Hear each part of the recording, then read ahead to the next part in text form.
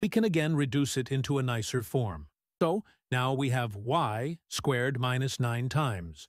y squared minus 1 equals 9.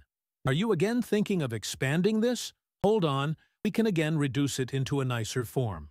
What will be the average of 9 and 1? It will be 9 plus 1 over 2 or 10 over 2, which is 5, right? So let y squared equals r plus 5.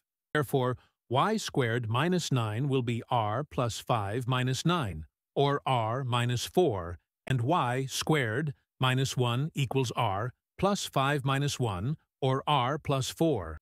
Thus, this is again of the form a minus b times a plus b, and thus this will become r squared minus 4 squared, or r squared minus 16, which equals 9.